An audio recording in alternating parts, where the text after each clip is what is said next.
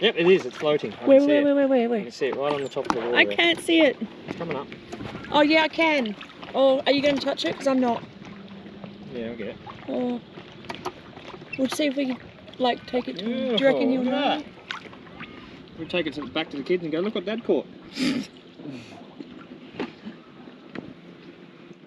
There we go. This is what the Oh, the eagle the eagle caught, or the uh, osprey. Sorry. Quick.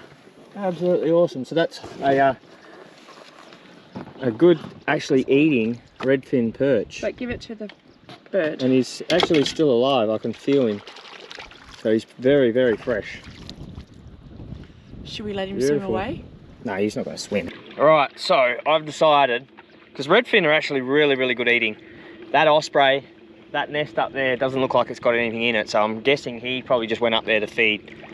Um, but he's an osprey, so he's going to be able to catch